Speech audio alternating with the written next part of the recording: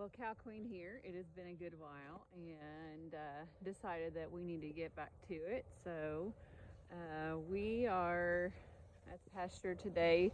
Just brought up. Actually, all- I tried to get her to do it. yeah, he did. He told me, Mom, you need to do a Cow Queen video. It's been too long.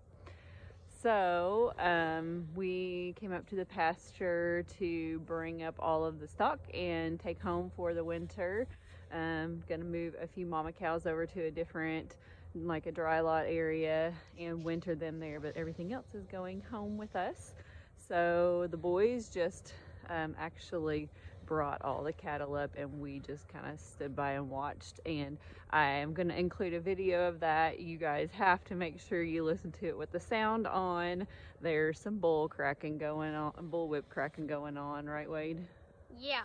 Yeah, they have mastered the bullwhips through um, all of this quarantine craziness. I can show you how to do one.